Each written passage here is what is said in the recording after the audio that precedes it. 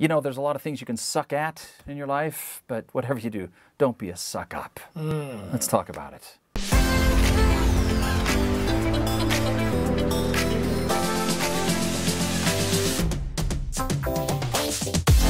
Hey, how's it going? It's Scott and Jeff. We're talking about the seven ups of happiness. How to be happy. You want to be happier, happy, happy, happy. Hmm. Thank you. Yeah. Syncopation, baby. That. I'm just trying to kiss up to you. Yeah, that's what we're talking about today is don't be a suck up. Don't be a kiss up. Yeah. A toady, a bootlicker, a brown noser. Call it what you will. A sycophant. That's sort of the, yeah, the $5. Really? Yeah. Ooh. Yeah. You never heard sycophant? Sycophant, I've heard.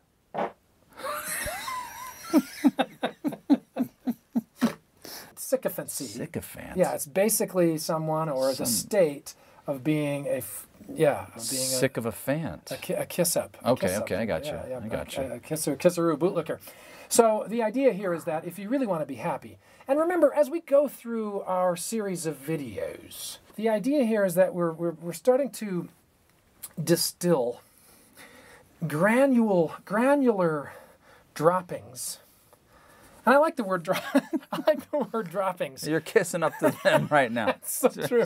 I mean, it's, it's one thing to say. So, for example, you know, suck it up, or or pardon me, this one is don't be a suck up. Don't be a suck up, This yeah. falls under the general up of the up and up, which is being sincere, authentic, being true, having integrity, all of that. I mean, there's a million ways that you can cheer up and lighten up and be happier. You're never going to truly be happy if you betray yourself by the way you treat someone else that you perceive to be a, a, a, a- benefactor. Yeah, yeah.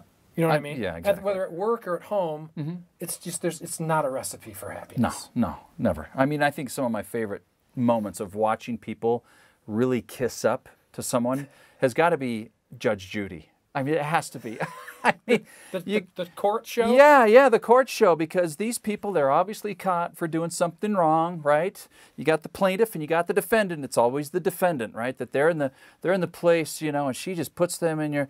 Well, you see, honor, you, you see, uh, what? Uh, hey, what, what you? ca-" It's just, yeah, I love it it- because these people are totally. Yeah, there's no kissing up now, not at all with her on the bench. Yeah, yeah, yeah. Not yeah. at all. No, she can read right through it, and most people can.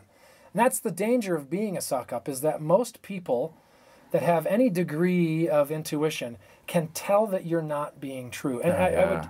I would basically mostly caution this in the workplace. Because at work is where we find most of our sycophants. These are the people that again are trying to uh, kind of climb that corporate ladder, or get the corner office, or looking for a better payday by aligning themselves with someone that they, they think will kind of drag them along with them. Yeah. And what happens is often those people are drawn to similar types of people. You know, there's, kind of a chemistry where you go, he, he understands hmm. what we're about. I remember working with a guy once, and I won't use his name here, who was very much like that. He was he he came off as very car salesman-y, hmm. very everything was a big smile, a big cheese eating. How are you? it is a pleasure beyond description for me to be shaking your hand right now. Okay. Thanks. I am thrilled to make your acquaintance. Now, there are some people that are legitimately like that. And you know how you can tell? I don't know. You just can. Yeah. It, it feels authentic. But any but if I came up to you and I did this, hi, is it Jeff? Yeah. It is a sincere pleasure for me. you can't even keep a Yeah. straight face. No, you can't. You That's can't. what this guy was all about. He would take that personality and he would apply it to anyone that he directly reported to or above, hmm. anywhere within the organization. It was all political power play nonsense. I guarantee you, there's no way that guy was sleeping peacefully at night. No. And, and if he was, then he doesn't deserve to be happy anyway. If he's got his own brand of happiness, fine. But be true to yourself, be authentic, and be honest with people. You know, if you deserve a promotion, you'll get it. From working hard and from having a good attitude, mm-hmm. being positive and optimistic, helping out, and all the things that make a good worker or a good performer. Yeah. But if you're just going to try to, you know, uh, bootlick your way to the top, it's going to be a short trip. And it's going to be not very good for your tongue either. Well, that's Those oh, because boots of the don't bootlicking. taste, yes. Oh, sometimes the boots they wear out on the manufacturing floor. So, do you want to be a butt kiss uh, then don't be like these people. But what about Butkus in the Rocky movies? That's okay. Oh, the dog butt Yeah. kiss. Yeah, yeah. Or, or, Or the, Dick Butkus. Dick butt kiss, the Sure. football player. This is butt kiss, butt kisser. These are the only three. Jeff didn't come up with a list. The top three butt kissers of all time that I could think of. Have you got three? I have three. Okay, because I, I couldn't I come came up Ah, with these okay, 3 real hear. quick. Wormtongue, Ah. Lord of the Rings trilogy, or at least the middle one there. Nate, you probably yeah, know. this is- You seem like a guy who would like Lord of the Rings. I've seen it, but I don't know. I've seen it, but I don't know. He was that slithery, creepy, Yeah. Who was playing the king, oh Yeah, king, yeah, yeah. and then when the bad guys would come, oh bad guys. yeah, yeah. Wherever he gets his next meal is where his loyalty lies. What was his name again? Wormtongue. Worm Tongue. Okay. If that isn't a name, it doesn't give it away. I don't know. You know, what he was the guy. He was in One Flew Over the Cuckoo's Nest. Remember that? Yeah, Bill, Billy Budd. Yeah, he was Uh, the yeah. Bi- Billy Billy Batson. Billy. Yeah. Well, Billy Batson's Shazam. Oh, is he? Billy. Okay. Now we're talking about 70s comics. we digress. I already gave you my number one, and it was the guy that I used to work with. Ah, I can't even say his name. And then, um, and then my number two is Smithers from Ah. The Simpsons.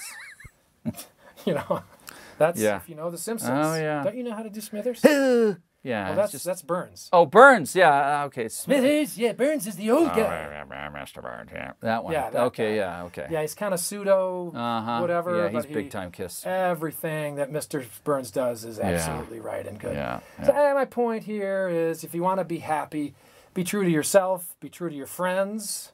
Don't sell them downriver or throw them under the bus just to move your career along or to gain some great benefit.